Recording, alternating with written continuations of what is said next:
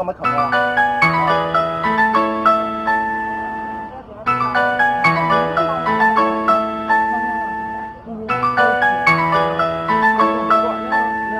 实我觉得他们说话就是反反复复，其实是完全不可以信任的。就从他们的警察的密录器，自从一开始就欺骗警察，说是呃我儿子要找他单挑的，或是说呃他竟然跟他们老大还有小弟骗，说是我儿子。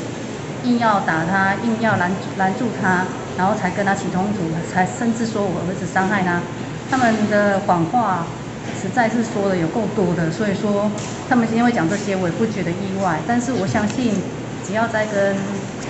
就是说证人全部的这样对对词之后，他们应该就是说他们都会，对对对，他们的谎话都会被戳破戳破。可以看到他们是拉着他，我们在争打，可是他被拉着，然后然后被当初那样来殴打，所以说，